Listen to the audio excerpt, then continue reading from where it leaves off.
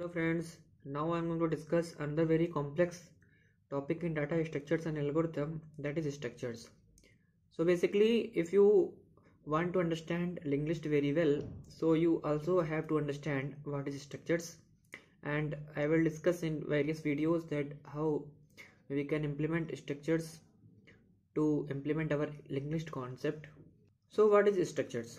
In C++, a structure is a collection of variables that are referenced under one name. This provides a convenient means of keeping related information together. So basically structure uh, are referred to as a compound data type. They consist of several different variables which are yet logically connected. So basically in a structure we can uh, have different types of data type of information like int float char string and other such uh, data type we can store. So we this structures concept is very important. So next concept we have to understand how we can declare a structure.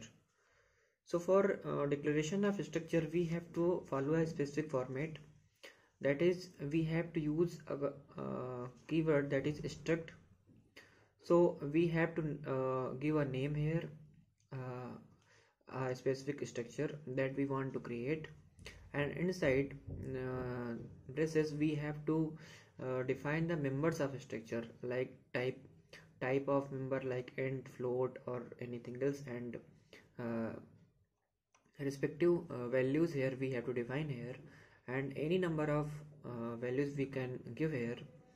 And just to uh, define a structure variable here we have to give uh, that name here okay?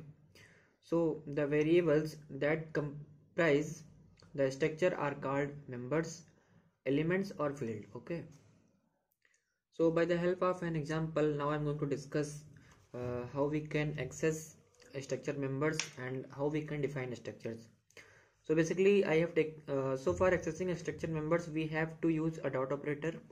So um, we have to first write a structure variable name then dot operator then element name.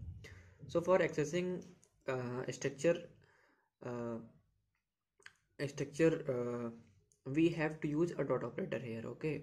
So for example if we have taken that struct vector so this is the name of structure and we have defined here. So if float x float y and float z. So this is uh, if we uh, take here x coordinate y coordinate and z coordinate and here if the reference point uh, is defined as left upper and uh, lower right. So we can give the value accordingly.